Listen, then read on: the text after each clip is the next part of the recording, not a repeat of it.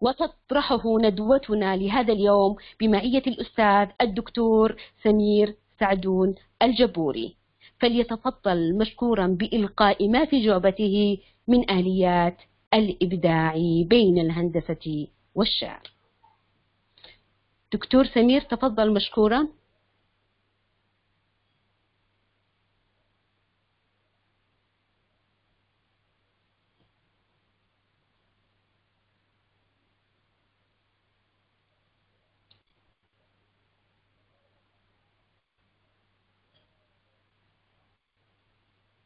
دكتور سمير تسمعني؟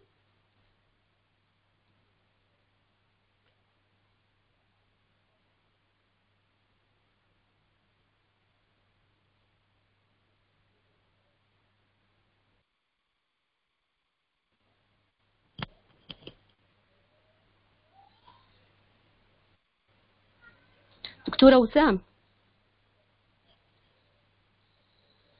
ألو نعم دكتورة بركي آه. أسمعك آه، فليتفضل آه. الدكتور سمير آه، بإلقاء الجزء الأول من هذه الندوة إن نعم، كان نعم، متواجد. دكتور سمير موجود دكتور سمير بس لا أعرف لماذا يعني. ربما هناك إيه، نعم إشكالية في المايك. لا لا موجود دكتور سمير نعم. الآن سيتفضل نعم. مرحبا دكتور. نعم دكتور؟ سمير السلام عليكم. السلام عليكم ورحمة الله وبركاته. ما شاء الله دكتور سيرة علمية وأكاديمية مشرفة ننتظر بشغف السماع إلى المحاضرة. تفضل مشكورا. شكرا جزيلا لكم وبالبداية أشكر السيد علي السيد وساف رئيس منظمة الصداقة الدولية الذي هو دائما حاضر معنا في كافة الفعاليات والنشاطات العلمية التي تقدمها آه، منتديات آه، أكاديمية إثراء المعرفة وأكاديميات المنظمة والمراكز العلمية الموجودة في منظمة الصداقة الدولية. شكرا جزيلا له على تخصيص وقته آه، للحضور معنا دائما. آه، شكرا للحضور الكريم والشكر موصول أكيد آه، لمقدمة ومديرة المنصة لهذا اليوم الدكتورة بلقيس الكبسي وشكرا لزميلتي المحاضرة معي الدكتورة وسام الخالدي. أتمنى أن لا أكون ثقيلا في الواقع. أنا عمري ما دخلت في آه، في معركة مع مع خصم شديد قوي جدا الدكتورة وسام الخالدي. آه، حتى وإن كنت آه، مع- معها في في هذا اللقاء جنبا إلى جنب فالعملية صعبة. هناك خلل خلل في في في ميزان الكفة. الدكتورة وسام لا يجاريها ما لا يجاريها سمير الجبوري فإن شاء الله سأحاول أن أكون آه، حاضرا في هذه الأمسية بما آه، بما يفيد بما ينفع بما آه، نقضي به هذه الأمسية بعون الله. آه، بسم الله الرحمن الرحيم. الإخوة والأخوات الحضور الكرام. آه، أولا آه، آه، الدكتورة الكبسي آه، كشفت آه، سر من أسراري وعند عرض سيرتي الذاتية التي كنت أتمنى أن تتجاوز فقرة العمر سامحها الله بما أن العمر انكشف فسنعود بالذاكرة قليلا إلى بدايات القراءة الخلدونية في كتاب القراءة في المدارس العراقية هل صوتي لا يزال آه، واضحا؟ واضح جدا دكتور واصل تمام واضح. تمام تمام إذا نتواصل آه، فنعود بالذاكرة بما أنه انكشف العمر فنعود بالذاكرة إلى بدايات القراءات الخلدونية في المدارس العراقية والذين أعمارهم قريبة من عمري أو أقل قليلا يتذكرون القراءة الخلدونية. آه، كان هناك نشيد للمهندس الصغير الذي كن الذي كانت له لذة ومتعة توازي براءة طفولتنا. ونحن نعيش أيام الدراسة في الصف الثاني الابتدائي. كانت متعتي بقراءة هذه الكلمات غالبا ما تمتزج بالألم والحسرة على ذلك المهندس. على جهده الذي يذهب سدى بانهدام قطعه الخشبية كنت أشعر وكلما قرأت النشيد بمرارة تلاشي حالة التنظيم لأنها تعني ببساطة ضياع الجهد. وكم تمنيت لو أنني أمتلك موهبة لنظم الشعر في ذلك الوقت. عندما كنت صغيرا في السابعة من عمري لو وضعت, لو, وضعت لمستي ببيت شعر يجعل المهندس يستمر ببناء تنظيم وتنظيم قطعه الخشبية دون ما منغصات. لكن أمنياتي كانت غالبا ما تذهب أدراج رياح عجزي وبساطتي. فماذا فماذا جاء في القراءة الخلدونية أيها الأخوة والأخوات المهندس الصغير لي قطع من خشب ألهو بها في اللعب. أبني لكم دارا بها حاوية كل البها. أصفها فتنتظم ثم جميعا تنهدم. انظر لما أؤسس إني أنا المهندس. فاعترفوا لي بالفطن. ألست معمارا إذا تلك الكلمات التي تذكرنا ببراءة الطفولة في تلك الذاكرة البعيدة البعيدة بعد بعد أكثر من من خمسين عاما من تلك الذاكرة. واليوم أيضا قرأت قرأت هذا اليوم في الربط بين الهندسة والطبيعة. وقرأت أيضا في الربط بين الشعر والطبيعة. فأدركت أن هناك رابطا بين الهندسة والشعر. يستمر الجدل منذ أفلاطون وحتى اليوم حول الطبيعة فيما إذا كانت مجرد خطوط للهندسة أم إنها صورة شعرية. ويبدو أن الفرق شاسع وكبير بين أن تتحكم الهندسة بالطبيعة فتقننها وترسم أبعادها وتعين اتجاهاتها وتجزئ مسافاتها وتحسب للارتفاع حسابا وللأعماق حسابا فالتنظيم والترابط بين مكونات الطبيعة يعكس كم هي الهندسة الطبيعية فاعلة في المخيلة. عندما تعين الأشياء كأبعاد واقعية وتصيرها كيانات مقذوفة إلى العالم بما فيها الإنسان. في حين يكون الشعر بوصفه الطاقة الجمالية للمخيلة واللغة يحول حواسنا من متلقية إلى مدركة وتتغلغل الشعرية في جوهر الأشياء والطبيعة لتكشف عما لا تراه العين فتذهب الشعرية بنا إلى مجالات تأمل مجالات تأمل كونية كبرى. هذه العلاقة بين الشعر والطبيعة وبين الهندسة والطبيعة درست بعشرات الفلسفات وملايين الأفكار العلمية والخيالية والافتراضية وخلصت إلى أن الشعرية ثمة تنظيم طبيعي كما في الطبيعة ثمة تنظيم شعري. هو الخيال المادي لأشيائها وتشترك الهندسة بين الاثنين. هنا هنا نركز بأن الهندسة تشترك بين الاثنين حيث تكون في الطبيعة مقاييس وأطوال وحجوم وأثقال وتكون في الشعرية نبرات وأنغام وجمالية وكونية وجودية. لذا لا يمكن قراءة الشعر دون معرفة بالهندسة البنائية فيه. ولا يمكن تأمل الطبيعة في, في ذات الجانب دون بصيرة أبعد من الرؤية فواحدة من تجميل ارتباطنا كبشر بمكونات الطبيعة هي أننا نشعر بالطبيعة في تقلبات فصولها كما لو كانت كما لو كانت تؤلف شعرا بصريا يرينا من نكون وترى نفسها عبر ما, ما تكون. لذا لا يمكن للشعرية أن تتجرد من الموسيقى التي تهندس ارتباطاتها ولا يمكن للطبيعة أن تلغي الشعرية من حيويتها وكينونتها. وقد يستطيع الحديث عن الاثنين بالطبيعة ليست رياضيات هندسية فقط ولا هي تكوينات مادية فثمة روحانية تستبطن أحجارها ومياهها ونيرانها وهوائها وأقرأ واقرأ أية قصيدة تجدها مبنية على تفاعلات ماد تفاعلات مادة الطبيعة وروحها. وفي الجانب الآخر من شعرية الطبيعة وهندسة الشعرية إننا عندما نتأمل الطبيعة علينا أن لا نتأملها بطريقة تقليدية. عندئذ ستكون الهندسة ضمن البناء الشعري وتكون الشعرية ضمن البناء المعماري. وأخيرا نقول الشعر وجماليات المعرفة ما العلاقة بين الجوهرية بين الهندسة كعلم والشعر كأدب؟ بوصفهما فعلا إبداعيا خالصا يصدر عن فعل المخيلة والرؤية. لذلك نقول فما من إبداع على الإطلاق إلا وانطلق من لحظة الحلم. فالمهندس يحلم والشاعر يحلم.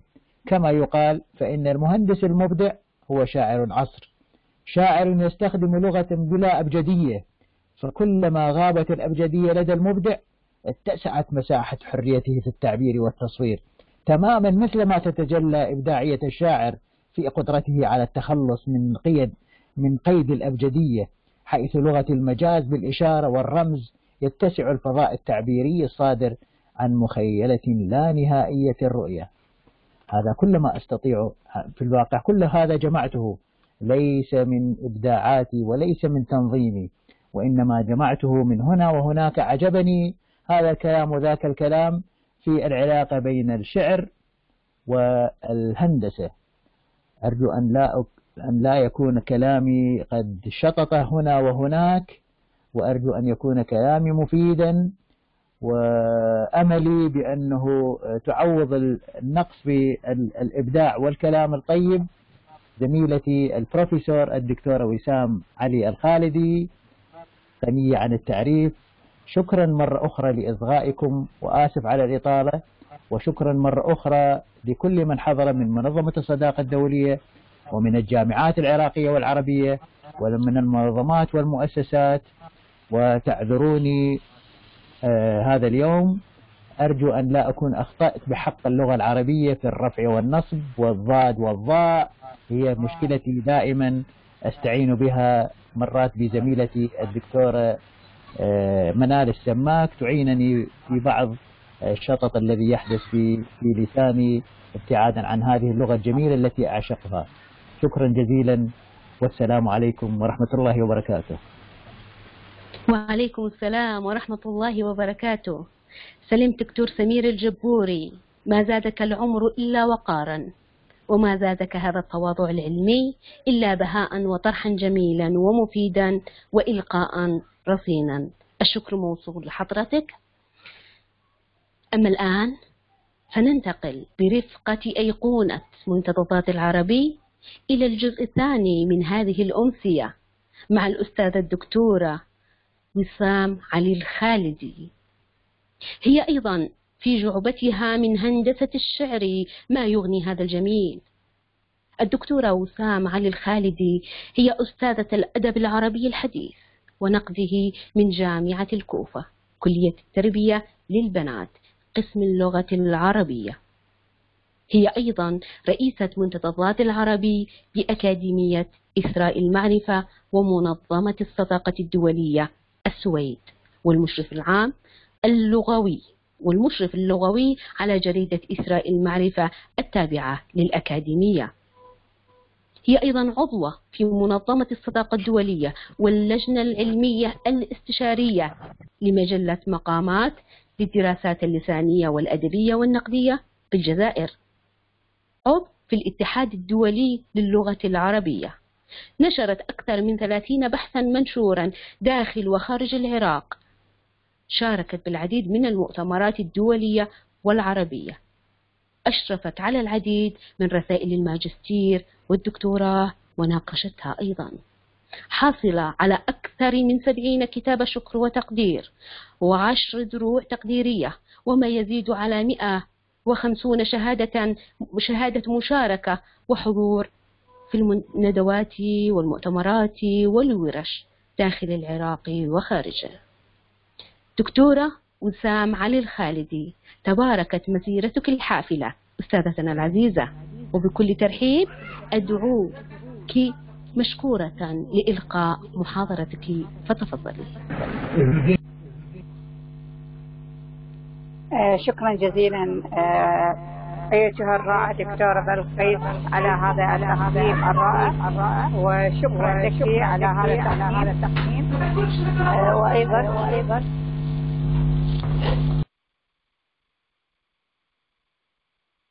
أيها الأخوة والأخوات رجاء غلق المايكات حتى لا يكون هنالك تشويش على الصوت. أولا قبل أن أبدأ بمحاضرتي اليوم أول أود أن أرحب بالسيد رئيس منظمة الصداقة الدولية الأستاذ السيد علي الوساق الذي نتشرف بحضوره معنا اليوم في هذه الأمسية الأدبية النقدية. وأيضا أرحب بكل الحضور الكريم. وأيضا أشكر أستاذنا الكبير الأستاذ الدكتور سمير سعدون الجبوري على ما طرحه من ورقة بحثية كانت فعلا رائعة. هذا التناظر الجميل بين الهندسة وبين الشعر وأنا أدرك بأن هذا العالم هو قائم على بناء هندسي لا يمكن أن نبتعد عن هذا الإطار وإن شاء الله سأقدم من خلال هذه المحاضرة أو هذه الورقة البحثية بعض آليات الإبداع بين الهندسة وبين الشعر. حينما أتوقف في هذه الورقة البحثية عند مفهوم أو ماهية اللغة العربية من المنظور الهندسي. حقيقة استوقفتني أو آه، أحاول أن أستوقف هذا المفهوم من الناحية الهندسية أو من المنظور الهندسي. لماذا؟ لأنني حينما أريد أن أعيد توصيف اللغة العربية. هذا التوصيف القائم بالأساس على منحى أو على أساس أن اللغة العربية تحتاج إلى تعريف أولا ما هي اللغة العربية؟ اللغة العربية من المنظور الهندسي هي تنطلق من مسألة الأصوات وتنتهي إلى مستوى التركيب وأيضا مستوى الدلالة فاللغة العربية إذا من ناحية الأصوات يمكن أن نقول بأن الصوت هو عبارة عن ذبذبات تنطلق من دماغ الإنسان ثم تنطلق أيضا عن طريق اللسان وأعضاء النطق. تبين طبعا من خلال دراسات الباحثين والدارسين أن اللغة العربية هي اللغة الوحيدة في العالم التي يتحرك بموجبها جميع أعضاء النطق التي خلقها الله سبحانه وتعالى. وذلك هي عكس باقي اللغات المعروفة أو اللغات السامية الأخرى. فهي لذلك أطلق على هذه اللغة بأم اللغات فهي الإطار المرجعي لبناء منظومة صوتية هندسية في العالم سواء كانت من الناحية العملية أو الناحية الهندسية. أنا حينما أتوقف عند هذا المفهوم أو عند هذا الإطار سأجد أن معالم البناء الهندسي قائم في القصيدة العربية القديمة أو الحديثة. هذا البناء الهندسي بكل تفاصيلها سواء كانت القصيدة قائمة على مسألة الألفاظ أو قائمة على مسألة التراكيب أو مسألة الصور. أو المعاني يعني لو بدأنا هذه القصيدة العربية تبتدئ بمطلع وتنتهي بخاتمة فهذا إذا إطار هندسي. كل النقاد القدامى حقيقة في آه، يعني توقفوا عند هذه المسألة ووجدوا أن القصيدة العربية هي قصيدة متماسكة مترابطة وفق بناء هندسي. فلا يكون بين أجزائها أي تنافر ولا فجوات من بين هؤلاء النقاد مثلا لو توقفنا عند رأي ناقد عربي وهذا الناقد له كانت آراءه النقدية التي أفادت اللغة العربية نذكر من هو ابن ضباطب العلوي تطرق إلى هذه الفكرة فكرة هذا التماسك الهندسي أو فكرة هذا البناء الهندسي بين القصيدة العربية. ماذا قال ابن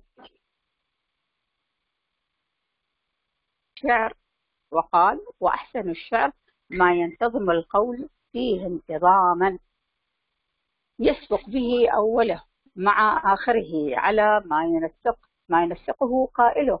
فإن قدم بيت على بيت دخله الخلل كما يدخل الرسائل والخطب.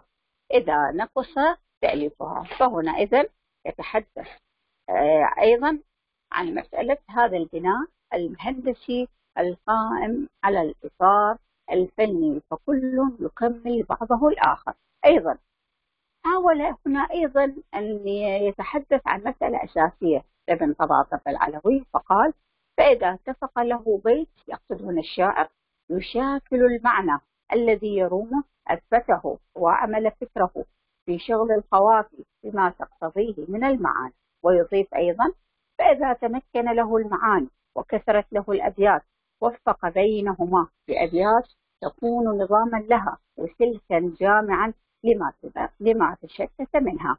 إذا هذا هو رأي وهو من أبرز الآراء التي توقفت عندها وجدت أن ابن طباطب العلوي توقف عند مسألة أساسية وهي مسألة الترابط والبناء الهندسي القائم من مطلع القصيدة حتى مسك ختام هذه القصيدة. فالعربي حينما يكتب هذه القصيدة هو آه، قد وضع لها بناء هندسيا في بداية الأمر في ذاكرته. آه، هذه القصيدة لا يمكن أن تسير وفق ما يرى. لا وإنما هنالك بناء لا سيما القصيدة العربية الجاهلية. كان هنالك نظام هندسي يلتزم به الشاعر وهي أن تكون هنالك مطلع وهذا المطلع يليه حسن التخلص من المطلع ثم الانتقال إلى غرض آخر ومن الغرض الثاني حسن استطراد بهذه الموضوعات حتى يصل إلى حسن الختام وهذا الأمر يقتضي أن يكون الشاعر مهندس في عملية الانتقال من غرض إلى آخر. هذه نقطة جدا أساسية.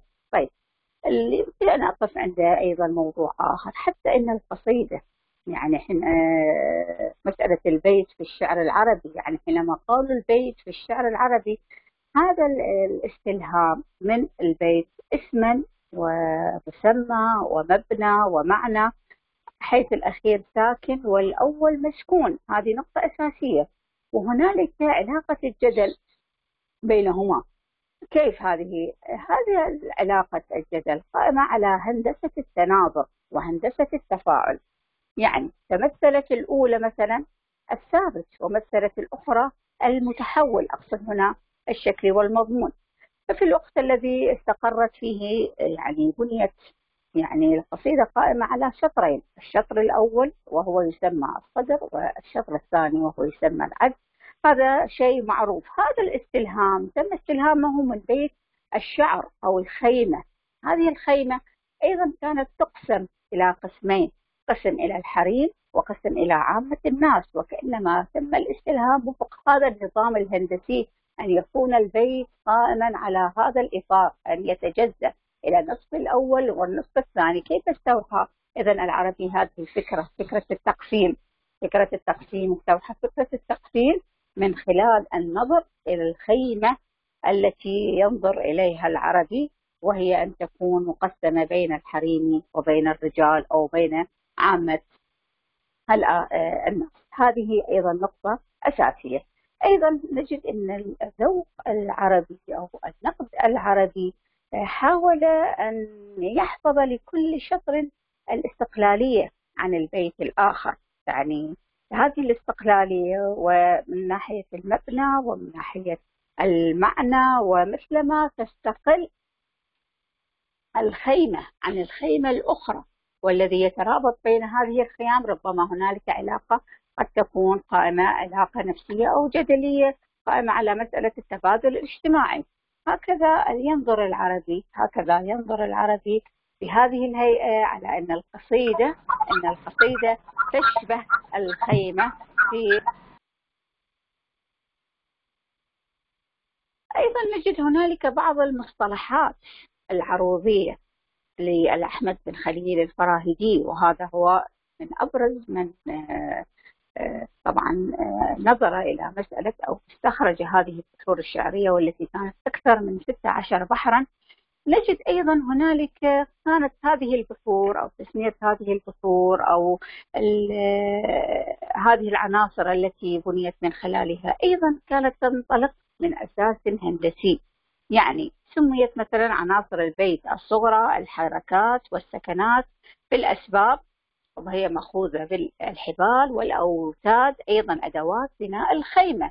كما سميت التفعيلة الأخيرة من الشعر الأول عروضا لأنها تنتصب بين الشطرين وهي محطة استراحة. وكذلك بالنسبة للمتلقي لأن جهاز النطق والتنفس آه، كان مشتركا. كما أنها تمثل محطة يمكن أن نقول للملفوظ الشعري. لذلك نجد أن العربي حينما يقف آه، عند هذه القصيدة وكأنما أخذ أو اتخذ من مفهوم البناء الهندسي لهذه الخيمة واستوحاها وحاول أن ينطلق من هذه الأجزاء التي تتألف منها لا سيما الحبال الأوتاد آه، تقسيم القصيدة إلى الشطر الأول والشطر الثاني. كل هذه تم استلهامها من البناء الهندسي للخيمة التي كانت هي تمثل العالم الخاص بذلك العربي الذي كان يسكن الصحراء وكان ينظر إلى العالم بنظرة بنظرة عين مهندس وهو ينظر إلى هذا التناسق الجميل سواء كان على الأرض أو على السماء أو على الصحراء فعينه كانت تنظر هذه النظرة الهندسية وقد انعكست. يعني أنا لا أجد قصيدة هي مبعثرة أو مشتتة في فيما يقول. كان لها بناء وتمهيد وهذا هذا التمهيد للقصيدة للغرض الذي يريد فهو كان حينما يريد أن يدخل إلى غرض الوصف يفتتحها بوقوف على الأطلال. هذه القصيدة كان يبدأها بوقوف على الطلب. فهذه أيضا كانت ينطلق من فكرة أساسية أنه ملتزم ببناء هندسي يراعي من خلاله ذوق المتلقي في تلقي هذه القصيدة التي تعودت الأذن على سماع هذا النمط من القصائد. حتى نجد أنه مثلا تفعيلة مثلا الضرب الأخيرة من كل بيت فإنها أيضا تشكل نقطة ارتكاز إيقاعي يعني موحد لتعدد الأبيات. فكل هذه الحيثيات قد تكون من المعززات الهندسة التناظر الشكلية. أما مصطلح التصريع أيضا هذا المصطلح هذا من المصطلحات المعروفة في القصيدة العربية وهي مسألة تشابه البيت الأخير من الشطر الأول مع تشابه البيت الأخير من العجز البيت الثاني. أيضا نجده في مطالع ومقاطع القصائد. أيضا كان يحاول الشاعر من خلاله يكرس مسألة هندسة التناظر وهذه أيضا كانت لها إيقاع موسيقي أيضا توحي للقارئ بجمالية في مسألة الإيقاع وهي مسألة أيضا حملت الشاعر أو الأذن الموسيقية على الاستماع إليه. فضلا عن ذلك نجد أن هندسة التفاعل باعتبار هذه الهندسة هي جانب إيقاعي تمثل ذبذباته عملية الفصل بين تفعيلتي العروض وعملية الفصل بين الضرب والتي كانت تجمع بين نهايتي الشطرين. حقيقة مصطلح آخر أيضا من المصطلحات هي مصطلح التدوير وهو أيضا هذا المصطلح ربما كان ضد هو مكافحة قوية ضد سلطة فلسفة الفصل في هندسة التناظر الأفقي يعني لصالح هندسة فلسفة الوصل عبر هندسة التفاعل داخل القصيدة العربية التقليدية. حيث انتقل بها مثلا الشاعر من الدائرة العروضية القائمة على البيت الإيقاعي الكلي إذ ليس للدائرة أصل ولا ليس لها أي بداية. هذا بالنسبة للقصيدة العربية القديمة. إذا هي قصيدة قائمة على بناء هندسي استوحاه الشاعر من البيئة التي هو فيها وكان ينظر إلى ذلك الواقع نظرة هندسية قائمة على النظر إلى الحياة وفق مفهوم هندسي إذا هو لا يمكن أن يكون هنالك توجه دون أن يكون. يعني هذه مسألة الإيقاع أو مسألة اختراع الموسيقى أو الأوزان كلها قائمة على الإيقاع. كان يستوحي حتى مسألة النياق حين تسير وهو ينظر إليها هذا الإيقاع البطيء حينما تسير هذه الناقة في الصحراء كيف إنها تنتقل بطريقة قائمة على الإيقاع الممنهج ومن هنا ومن هنا تم اكتشاف بعض من الأوزان الشعرية وهذا موضوع أيضا يطول الحديث عنه. ولذلك أود وددت أن أتحدث عنه في هذه أو أشير إليه في هذه المحاضرة، اذا الشاعر العربي القديم هو شاعر كتب القصيدة بعين مهندس. في العصر الحديث أيضا من النقاد أيضا من يرى بأن البناء الفني حينما نتوقف هو أيضا البناء الفني الهندسي. هو أحد ثلاثة منجزات القصيدة الحديثة. يعني بدأت القصيدة الحديثة تعتمد على خطة فكرية تعتمد هذه الخطة الفكرية. ربما هي تحكمت في بنائها الفني وحاولت أن تجعل كل جزء فيها ينمي هذا البناء. وهذا النمو كان في حالة من التصاعد وذلك تحقيق للقصيدة قدر من الوحدة العضوية. فهذا أيضا كانت قائمة على بناء هندسي مميز. نعم. فالشعر يمكن أن أقول هو هندسة حروف وأصوات وأيضا هو رؤى تختلج بها في نفوس الآخرين وتشكل عالم ربما يشبه عالمنا الداخلي. هذه نقطة أساسية. فالشعراء يعني هم مهندسون ولكل شاعر له طريقته وله أسلوبه في بناء الحروف وتعمير هذه الحروف. وهذا ما هذا هو يمثل يمكن الأساس لعدد من الشعراء الموهوبين الذين يعرفون كيف يضعون هذا الحجر الأساس وكيف يصوغوا بطريقة جميلة. اذا هي حرية المهندس ربما يقول لا حدود لها وهي التي يستطيع من خلال هذه الحرية أن يحذف وأن يضيف وأن يعدل ويغير في تفاصيل القصيدة التي يكتبها تذكر هنا أحد شعراء في العصر الجاهلي وهو زهير بن أبي سلمى وهو كان شاعر وكان يجعل القصيدة أكثر من ستة أشهر يعني لا يظهرها إلى العلن. كان يعيد ولذلك كان يطلق عليها بالحوليات لأنها تبقى لديه سنة كاملة. يضيف وينقح ويغير ويعدل إذا كان كيف يقوم بهذا البناء؟ يقوم وفق نظرة هندسية أن هذا البيت ربما ينظر إليه فإنه فيه خلل أو فيه آه، عدم تناسق بين المعنى وبين اللفظ وبين الإيقاع وبين الموسيقى. إذا هذا العمل لا يقوم به شاعر واحد ولكن يحمل فكر هندسي أن القصيدة ربما إذا بقيت في هذا الجانب أو هذا الإطار ربما يصيبها نوع من الخلل. نعم.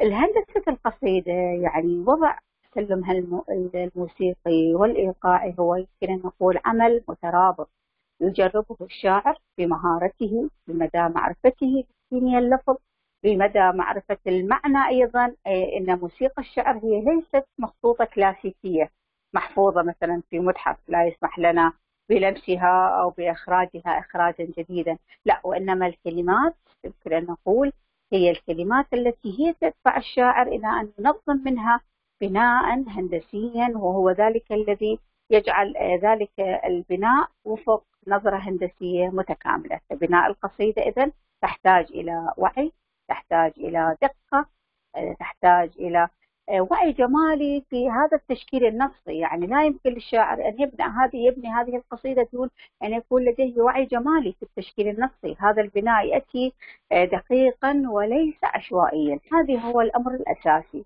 لماذا؟ لأنه ينظر إلى القصيدة نظرة بنائية هندسية وليس نظرة عشوائية. ربما لا يستطيع من خلالها أن يكون لديه بناء هندسي آه، أو بناء قائم على فكرة وربما كان يطمح إليها ذلك الشاعر بل نأتي بأنه يأتي هذا البناء آه، كاشفا عن لذة معرفية جمالية في التشكيل. ولذلك يمكن أن نقول بأن القصيدة هي عبارة عن بنية موسيقية متكاملة. فكان من الطبيعي أن يلتفت الشاعر في تشكيل هذه البنية إلى العناصر التي تحقق نوع من الانسجام بين هذه المفردات إذا فعملية التشكيل كما أقول يقوم بها الشاعر في القصيدة هي هي عملية ليست بالسهل إنما هي عملية معقدة فيها نوع من التعقيد. آه هذه أيضا مسألة التعقيد لأنها تأخذ بالنظر الاعتبار أن القصيدة مهما طالت هي وحدة فنية. هذه الوحدة الفنية هي التي تعمل في داخلها نوع من أشتات من المفردات والدقائق فالقصيدة إذن هي عبارة عن ذلك التكامل في بنائها النفسي وكذلك بنائها المعرفي. ذلك أن نظام التكوين اللغوي يعني في القصيدة تقوم على أساس الترتيب الفني سواء للجمل سواء للمقاطع سواء للأجزاء بحيث يكون كل جزء منها منظما في ذاته. وفي الوقت نفسه أيضا يشكل الإيقاع هذا الإيقاع آه، يمثل التخيل الفني وهو القوة التي تحرك الشاعر وتجعل منه يبني آه، تلك العلاقات بين الكلمات وأيضا علاقة البناء بشكل آه، يمكن فردي وبشكل عام. طيب هذه نقطة أيضا. الشاعر المبدع هو الذي يستطيع أن يجذب القارئ بجمالية وهندسة بناء قصيدته لتبدو متجانسة متماسكة بإيقاعها اللغوي والدلالي لا سيما عندما تفيض القصيدة بدلالات جديدة مبتكرة. آه، عبارة عن آه، هذه الابتكار قائم على مسألة التشكيل الخلاق التي تجعل آه، موهبة ذلك الشاعر سدة في تشكيل أو في هندسة التشكيل النصي كما أقول. من التقنيات التي يقوم بها بعض كتاب القصيدة سيما في العصر الحديث وفق نظام هندسي تتحقق من خلال عدة نقاط. هذه النقاط مثلا مسألة التنسيق أو مسألة التلاحم أو الترابط النحوي أو مسألة يعني الأخرى التي يمكن التفاعل. هذه من أهم التقنيات التي آه، يتم اعتمادها في تشكيل نظام هندسي لهذه القصيدة. مثلا التنسيق. التنسيق هو التنسيق البنائي يعني في تشكيل القصيدة والرقي بمؤشراتها الإبداعية وأيضا التنسيق ب آه، بدأ يعني عملها في ضمن الإطار الفني المتكامل. لماذا؟ لأن النص الشعري الإبداع الحقيقي هو نص منظم بعلائق ورؤى.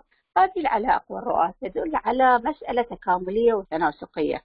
يعني من خلال الانتقال يكون هذا التنسيق من خلال الانتقال من تنسيق الكلمة إلى الجملة إلى البيت وإلى المقطع وإلى النص بأكمله. إذا هذا قائم أيضا على إطار هندسي منظم. العمل الهندسي المنظم هو عمل يقوم به الشاعر وفق رؤية معينة. يعني مثلا حينما يقول الشاعر كل الطوائف عندي جمع طائفة وكلها في فؤادي منذ تكويني فما تعصبت في ديني لطائفتي فكل ما أنزل الرحمن يهديني يعني يبدأ هذا مسألة التسلسل البنائي في تشكيل هذه القصيدة بمؤشرات إبداعية وهذه واضحة من خلال هذه القصيدة التي يبدأ من خلالها تنسيق الانتقال في تنسيقه من الكلمة إلى الجملة وهي قصيدة طويلة لن أتمكن من ذكرها بأجمعها. نعم. أيضا التنسيق ينطلق ربما من مسألة الفكرة. إلى فكرة أخرى. من خلال قيام على مسألة التنسيق بجمالية فاعلة محركة للأنساق الشعرية. أيضا هذا تم تأمر موجود وقائم أيضا في القصيدة. وأيضا بلاغة تنسيق الأسطر الشعرية في بعض القصائد أيضا ترتكز على فعالية البناء والحس الجمالي في بناء هذه القصيدة بناء هندسيا. مثلا أيضا الشاعر يقول في أبياته أو يعتمد في أبياته على مسألة التنسيق مسألة الأسطر الشعرية. كما نجد التنسيق من خلال المعجم وهو أن يستخدم الشاعر أيضا مرتين أو ثلاث كلمات لها نفس الجذور أو كلمات لها جذور دلالية معجمية متقاربة. مثلا حينما يقول خذوني وأرسوني في ترابي ولا تبقوا أحبتي في اكتئابي حنيني للطفولة حين تلهو بطين ترتوي منه ثيابي حنيني للثمار على كروم معلقة على سطحي وبابي حنيني حيث دبس حيث دبس التين يغلي بآنية عشعشة الخوابي. فنجد هنا الشاعر هذه مسألة التنسيق بالمعجم وهو يستخدم بعض هذه المفردات بطريقة مكررة أو نفس الجذر وهذا أيضا يمنح السطر الشعري أو القصيدة بأكملها نوع من الإطار الهندسي القائم. أيضا نجد التلاحم والترابط النحوي يعني هذا أيضا يشكل ترابط بين الجمل والمفردات ويحدث أيضا ترابط علائقية مباشرة بين هذه القصيدة وهذا الترابط. لذلك نجد بعض الشعراء يشعر إذا كان هنالك أي خلل وفق هذا الترابط. أو على صعيد التركيب أو على صعيد اللفظة. وهذا أيضا من أهم الأدوات التي تسهم في خلق هذا الترابط من خلال اعتماد ربما على الأسماء الموصولة أو أسماء الإشارة أو الأسماء الشرطية أدواتها الحروف العاطفة. أيضا الأفعال لها دور في توطيد فعالية هذا التلاحم والتفاعل في القصيدة. فإذا اعتماد الشاعر على الترابط النحوي هذا هو أمر أساسي الذي يخدم الدلالة وأيضا يعزز الشعرية وكأنما الشاعر أيضا يقوم من خلال هذا ذلك الإطار أو البناء الهندسي الذي يقوم من خلاله على هدف واحد وهي أن تكون القصيدة وفق بناء هندسي صحيح. نعم. أيضا في النص نجد ارتباطات الدلالة مع بعضها في جميع الأبيات وذلك من أول الكلمة إلى نهاية هذه الكلمة وهذا ما يعزز البناء الهندسي للقصيدة. إذا هذه نقطة أساسية. مسألة التنسيق كما قلنا. مسألة أخرى هي مسألة التفاعل. التفاعل أيضا هي خاصية جدا أساسية. الشعر لا أهمية له إذا لم يكن هنالك تفاعل على مستواه الباطني أو على مسألة اللغة الشعر. لذلك نجد بعض الشعراء يتفاعلون ذاتيا مع القصيدة من خلال تأثر الشاعر بالواقع الاجتماعي أو التفاعل معه إنسانيا ووجوديا أو أنه قد تنصهر تلك الذات الشاعرة مع هموم الآخرين. وهذا دليل على النظرة الإنسانية الشاملة للشاعر. إذا الشاعر يتفاعل وجوديا مع الأحداث الجارية يتفاعل بحب الأرض يتفاعل بحب الوطن وهذه المشاعر كلها تنصب في القصيدة وفق نظرة هندسية قائمة على أنه أن لا يكون فيها خلل وإنما هنالك ترابط من ناحية التصديق من ناحية التفاعل من ناحية يمكن أن نقول التلاحم أو الترابط. النحوي كل هذا هو له أمر هام في بناء القصيدة العربية. إذا تقنية التفاعل هي أيضا من التقنيات المهمة في تحفيز الشعرية فهي تمتاز بجرأتها الجمالية وهذا ما ينعكس أثره على آفاق اللغة الشعرية التي تحفز الشعرية وتسمو بها إبداعيا. أنا كنت أود أن تكون آه، ورقتي البحثية آه، معززة بالشواهد ولكني حاولت أن أختصر حتى لا أطيل على مسامعكم أيها الحضور الكريم. سعيدة جدا بهذا الحضور. سعيدة دائما أن يكون منتدى الضاد العربي هو السباق في تقديم كل العناوين والنشاطات التي تحمل المتعة والفائدة للجميع. منتدى الضاد العربي هو ليس فقط منتدى لإقامة المحاضرات والورش وإنما منتدى سيكون له دور وشأن كبير في إعلاء طرح اللغة العربية بما سيقدمه من آه، توجهات إن شاء الله ستكون على المدى القادم. توجهات تحقق أهداف كبيرة إن شاء الله لهذا المنتدى. شكرا لمسامعكم وأرجو أن لا أكون قد أطلت عليكم في هذه الورقة التي قدمتها اليوم وأنا سعيدة جدا أن أكون إلى جوار أستاذي الفاضل دكتور سمير في تقديم هذه المحاضرة. شكرا جزيلا. لحضراتكم